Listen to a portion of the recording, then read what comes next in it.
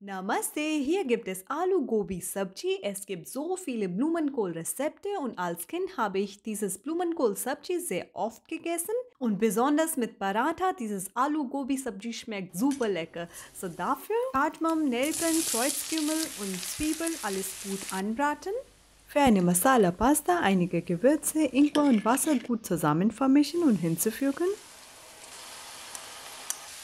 Hier kommt Blumenkohl und Kartoffel rein, alles auf mittlerer Hitze gut anbraten.